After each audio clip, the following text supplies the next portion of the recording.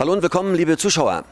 Wir melden uns heute hier aus dem Hoyerswerda Zoo, aus dem Jumbo. Das ja nicht mal Jumbo heißt, Sie haben es mittlerweile erfahren.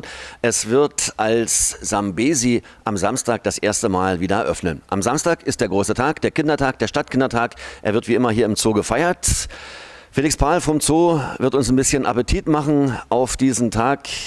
Felix, was wird denn die Kinder Zauberhaftes hier im Zoo erwarten am Samstag?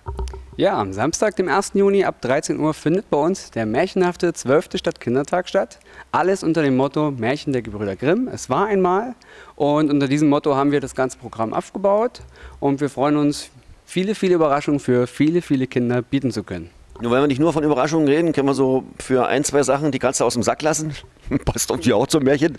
Na, selbstverständlich. Wir haben unser Bühnenprogramm, das wieder vollgefüllt sein wird von unseren eigenen Zoo-Angeboten. Unsere Zooschule wird wieder einige Programmpunkte bringen. Es wird eine schöne große Zaubershow geben und natürlich auch was Märchenhaftes. Wir haben zwei Puppenspielbühnen, die sich mit ihren Märchen hier im Zoo abwechseln werden und die Kinder, denke ich mal, schön unterhalten werden. Also es wird spannend für die Kinder auf der großen Bühne, aber auch rundherum wird eine Menge an Angeboten für die Kinder da sein. Ja, genau. Ich denke, unsere Besucher kennen das aus den vergangenen Jahren. Wir haben im ganzen Zoo und auch im Schloss viele Stände bereitgestellt.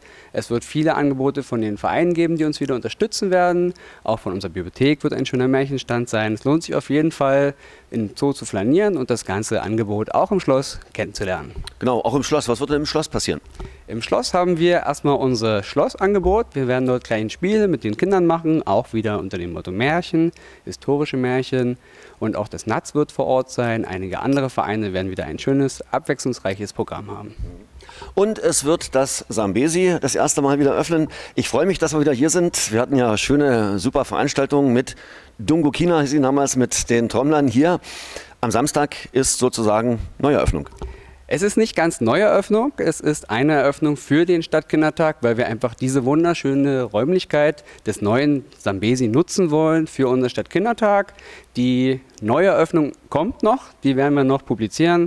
Jetzt werden wir erstmal diese schöne Örtlichkeit nutzen für unseren Stadtkindertag, um auch unseren Besuchern mal wieder dieses Gebäude zeigen zu können und sie von hier perfekt versorgen zu können. Ja, wunderbar. Also, liebe Zuschauer, dann sehen wir uns mit Ihren Knirpsen am Samstag zum großen Stadtkindertag hier im Zoo Hoyerswerda. Und das Wetter wird übrigens auch viel, viel besser, als es unter der Woche war.